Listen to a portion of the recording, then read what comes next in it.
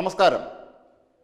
ലക്ഷദ്വീപിൽ യഥാർത്ഥത്തിൽ എന്താണ് നടക്കുന്നതെന്നുള്ള വളരെ വ്യക്തമായ വിവരങ്ങളുമായി ലക്ഷദ്വീപിലെ കളക്ടർ അസ്ഗർ അലി കൊച്ചിയിൽ വാർത്താസമ്മേളനം നടത്തി. അവിടെ എന്തൊക്കെയാണ് പുതിയ വികസന പദ്ധതികൾ?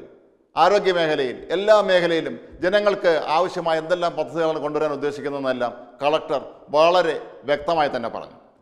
കഴിഞ്ഞ കുറേ ദിവസങ്ങളായി ലക്ഷദ്വീപ് ഭരണകൂടത്തിനെതിരെ നിരന്തരം ആരോപണങ്ങൾ ഉന്നയിക്കുന്ന ഇടത് സൈദ്ധാന്തികന്മാർക്കും സാംസ്കാരിക നായകന്മാർക്കും സിനിമാ താരങ്ങൾക്കുമെല്ലാം കൃത്യമായ മറുപടിയുമായി തന്നെയാണ് എസ് അസ്ഗർ അലി കൊച്ചിയിൽ വാർത്താ സമ്മേളനം നടത്തിയത്.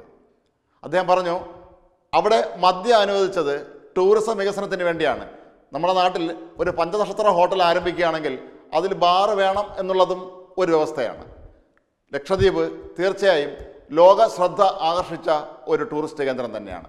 അവിടെ താമസിക്കാൻ വരുന്ന തദ്ദേശീയരും വിദേശീയരുമായിട്ടുള്ള വിനോദസഞ്ചാരികൾക്ക് യാതൊരു സൗകര്യവുമില്ലാതെ ഏതെങ്കിലും പൊളിഞ്ഞ ഗസ്റ്റ് ഹൗസിൽ താമസിക്കണമെന്നാണോ നമ്മുടെ നാട്ടിലെ ഈ സാംസ്കാര നായകന്മാർ ഉദ്ദേശിക്കുന്നതെന്നുള്ളതാണ് ന്യായമായ ഒരു ചോദ്യം.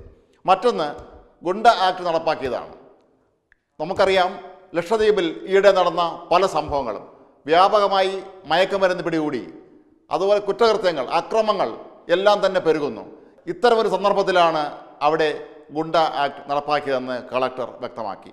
കുറ്റകൃത്യങ്ങൾ പെരുകുമ്പോൾ അവരെ അമർച്ച ചെയ്യാൻ കുറ്റകൃത്യങ്ങളിൽ ഏർപ്പെടുന്നവരെ അമർച്ച ചെയ്യാൻ ഗുണ്ട ആക്ട് ഏറ്റവും ഫലപ്രദമായി തന്നെയാണ് ഇന്ത്യയിലെ മിക്ക സംസ്ഥാനങ്ങളിലും പ്രയോഗിക്കപ്പെടുന്നത്. അതുകൊണ്ട് ആ സംസ്ഥാനത്ത് സമാധാനപ്രിയര ജനങ്ങൾക്ക് സുരക്ഷിതത്വമല്ലാതെ മറ്റ് യാതൊരു പ്രശ്നവും ഉണ്ടാകാൻ യാതൊരു സാധ്യതയുമില്ല. അതുപോലെ തന്നെയാണ് ആരോഗ്യ മേഖലയിൽ. ആരോഗ്യ മേഖലയിൽ ഇപ്പോൾ ലക്ഷദ്വീപിൽ ഒരാൾക്ക് ഗുരുതരമായ ഒരു അസുഖം ബാധിച്ചാൽ അവർ വൻകരയിലേക്ക് പോകണം. കൊച്ചിയിലേക്കോ കോഴിക്കോട്ടേക്കോ ഉള്ള ആശുപത്രിയിലേക്കാണ് അവർ പോകേണ്ടത് അതിന് പകരം ലക്ഷദ്വീപിൽ ദ്വീപുകളിൽ വളരെ അത്യന്താധുനിക സംവിധാനങ്ങളുള്ള ആശുപത്രികൾ ആരംഭിക്കാൻ തീരുമാനിച്ചതായി കളക്ടർ അറിയിച്ചു.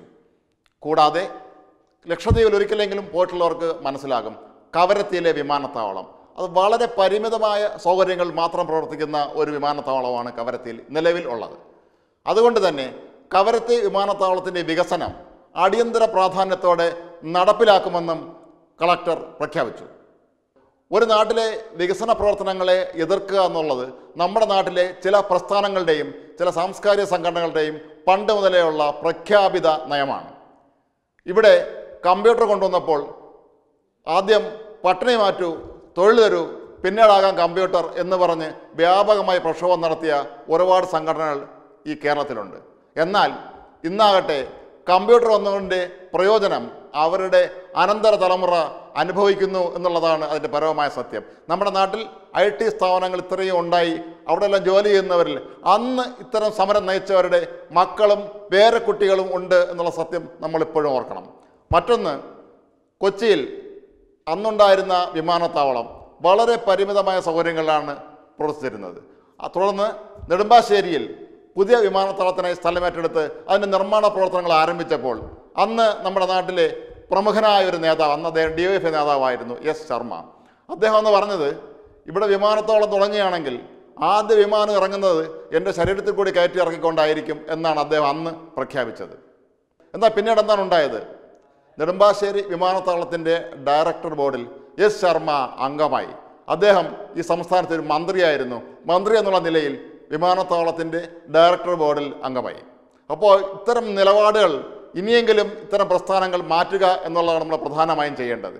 ഒരു നാട്ടിൽ വികസനം വരുമ്പോൾ ആ നാട് കണ്ടിട്ട് പോലും ഇല്ലാത്ത പല ആളുകളും അവിടത്തെക്കുറിച്ച് ഒട്ടേറെ ഉത്കണ്ഠപ്പെടുകയും വ്യാജ വാർത്തകളും മറ്റും പ്രചരിപ്പിക്കുകയും ചെയ്യുന്നത് വളരെ ദുഃഖകരമായ ഒരു സത്യമാണ്. നമ്മുടെ നാട്ടിൽ ഒരു സംഘം സിനിമാ പ്രവർത്തകരും സാംസ്കാരിക നായകന്മാരും ഒരു വശത്തുണ്ട്.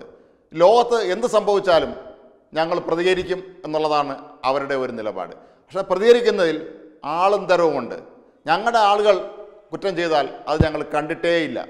ഞങ്ങൾക്ക് ഇഷ്ടമല്ലാത്ത ആളുകൾ ചെയ്യുകയാണെങ്കിൽ ഞങ്ങൾ ശക്തമായി എതിർക്കും. ഇത് തന്നെയാണ് അവരുടെ നിലപാട്. പലരുടെയും ലക്ഷ്യം ഇനി നടക്കാൻ പോകുന്ന തിരഞ്ഞെടുപ്പുകളിൽ സീറ്റ് ഉൾപ്പെടെയുള്ള അല്ലെങ്കിൽ പുതിയ സർക്കാർ വന്നതിന് ശേഷം ലഭിക്കാൻ പോകുന്ന സിനിമയെ ബന്ധപ്പെട്ട ഒട്ടേറെ സ്ഥാപനങ്ങളുണ്ട്. K S F D C Chalachitra academy തുടങ്ങിയ നിരവധി സ്ഥാപനങ്ങളുണ്ട്. അവിടെയെല്ലാം തങ്ങളുടെ ബർത്ത് ഉറപ്പിക്കാനുള്ള വ്യഗ്രതയിലാണ് നമ്മുടെ നാട്ടിലെ പല സിനിമാ സാംസ്കാരിക നായകരും എന്നുള്ളതാണ് സത്യം. സർക്കാരിന്റെ മുന്നിൽ അവർക്ക് ബോധ്യപ്പെടുത്തണം. ഞങ്ങൾ നിങ്ങൾക്കൊപ്പമാണ്.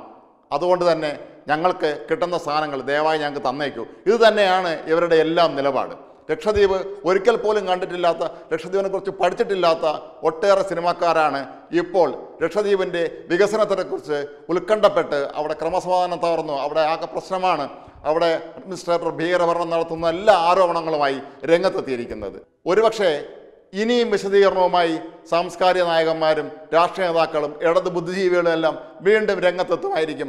കാരണം കളക്ടർ പറഞ്ഞത് ഏറ്റവും പുരോഗമനപരമായ കാര്യങ്ങൾ തന്നെയാണ്. ആ ദ്വീപിന്റെ വികസനത്തിന്റെ അടിത്തറ പാകുന്ന നിലപാടുകളാണ് ഇന്ന് കളക്ടർ പറഞ്ഞ വാക്കുകളിൽ നമുക്ക് മനസ്സിലാക്കാൻ കഴിയുന്നത്. Web desk Tatwamayi news.